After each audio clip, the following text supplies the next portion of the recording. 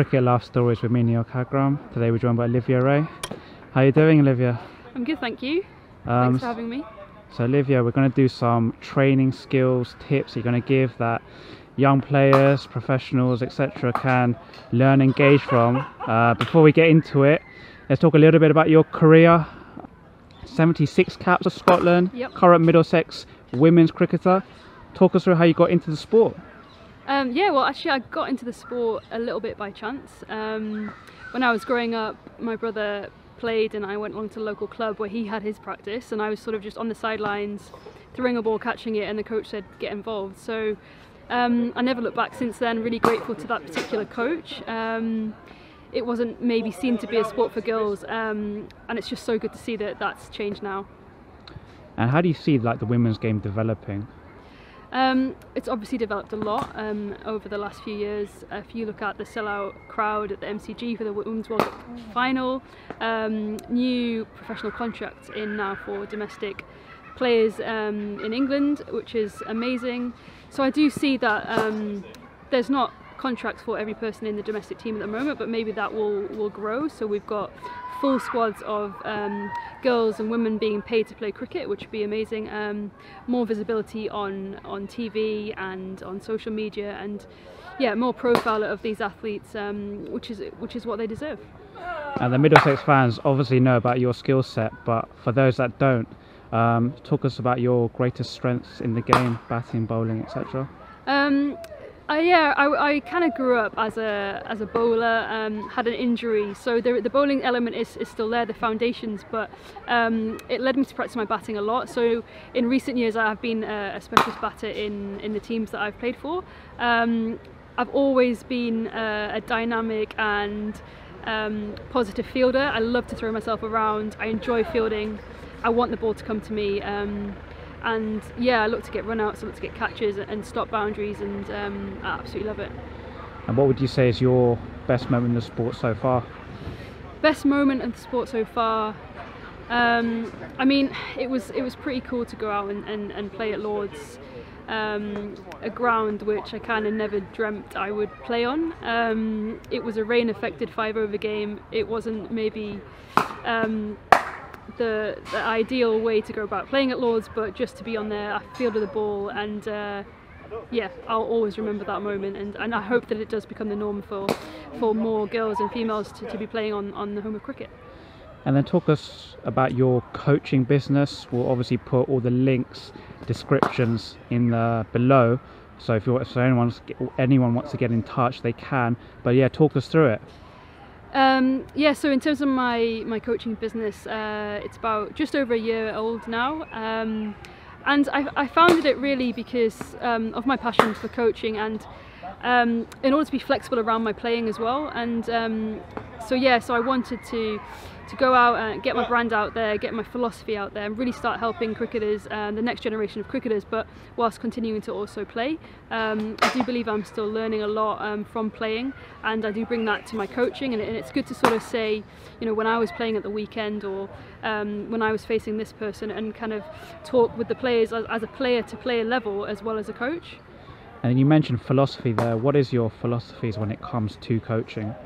Yeah, so um, my philosophy is very much about coaching the player and the individual. So I'm not just coaching the sport of cricket. I'm I've got a person in front of me who has had a life up until that moment and that that has shaped them and it's really important to understand, you know, what makes them tick, how they feel, what is something that makes them kind of uh, thrive and what maybe would have the opposite effect. So really trying to understand the player is so so important um, in order to bring out the best in them.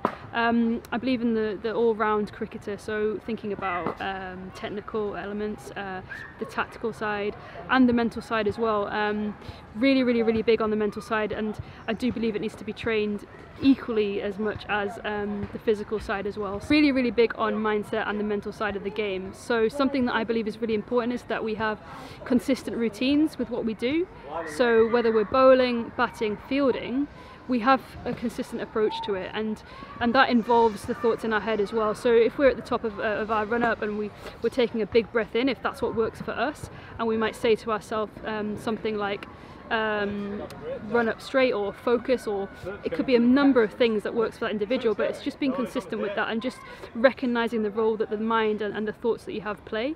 Um, so for instance when batting I say watch the ball watch the ball watch the ball that's all I say and, I, and it clears my mind um, and I don't think about anything else and it really really works for me. So um, yeah, and, and it's also about um, being mentally prepared and, and, and, and helping the players that I work with um, deal with pressure as opposed to um, getting to a point where you're having to help a player with their, their mental health for instance if they've actually started to struggle it's it's trying to help players um, and prepare them so we don't actually get to that point. Um, it's always it's creating little pressure um, situations in training but but supporting them and saying it doesn't matter if you fail just give it your best shot. Whatever happens you know I support you and and just being really really positive, um, and, and, and and realistic as well. And and, and, and being honest with players about their, their ability and where they're at and, and giving them really meaningful steps um, um, and manageable, manageable steps um, so that they, they progress and, and feel empowered. But being realistic that, you know, um,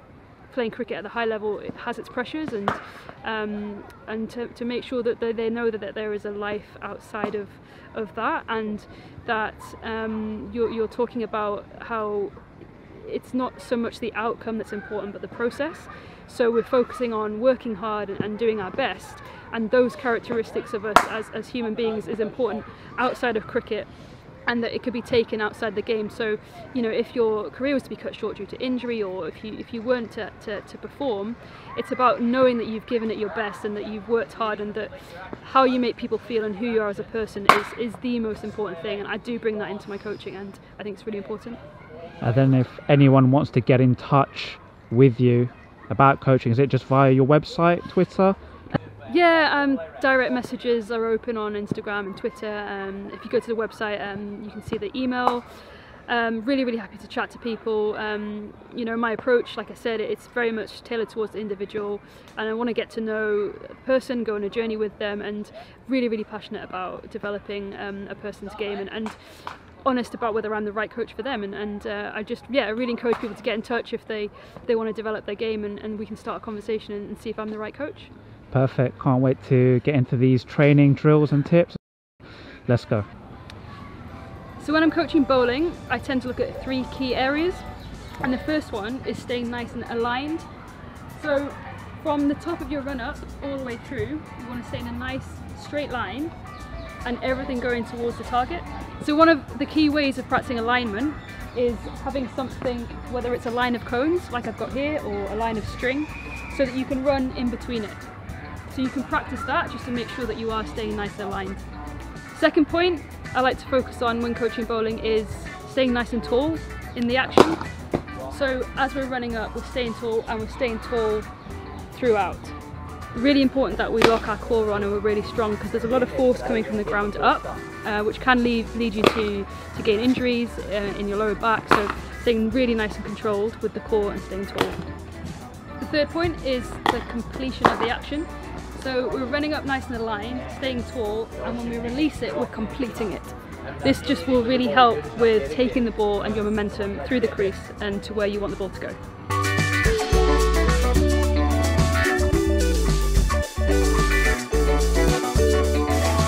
So when it comes to coaching batting, I've probably got three main principles or main areas that I focus on.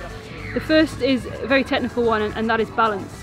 So you have to be balanced on impact when you play a shot and with balance you get power and you get control. So really really really important.